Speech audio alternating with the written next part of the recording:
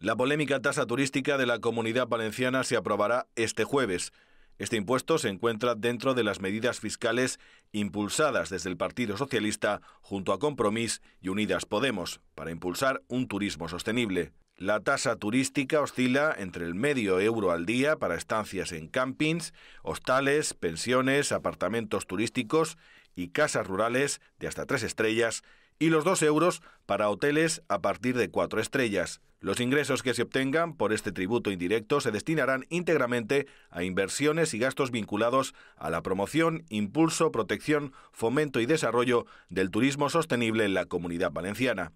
Una parte se destinará también a la mejora de servicios o políticas de acceso a la vivienda para los afectados por la afluencia turística. Toca otra vez por su propio peso. Eh, es una eh, decisión totalmente arbitraria y política que no eh, tiene sentido ni en este momento eh, ni, ni, ni, en un futuro. Vamos a ver qué ocurre con, con la, la, el mercado y el segmento turístico en este momento, porque no estamos ni siquiera a cifras cercanas del 2019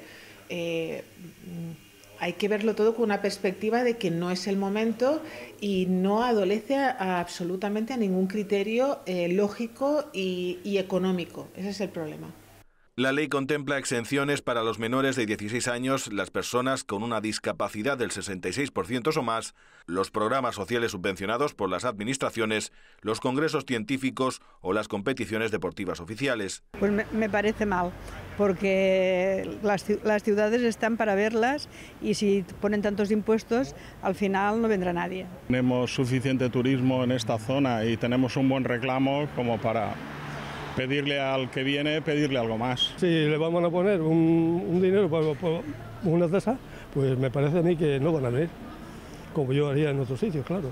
Yo no dejaría de ir a un sitio porque me cobren 5 ni 10 euros, pero bueno, hay casos de todos. Desde el Botanic defienden esta ley, recuerdan que equiparará a la comunidad valenciana con lo que ya aplican 21 de los 30 países de la Unión Europea y da un instrumento a los ayuntamientos para que lo apliquen si así lo consideran. Desde la oposición se muestran totalmente en contra de esta medida y los populares aseguran que cuando gobiernen dejará de existir.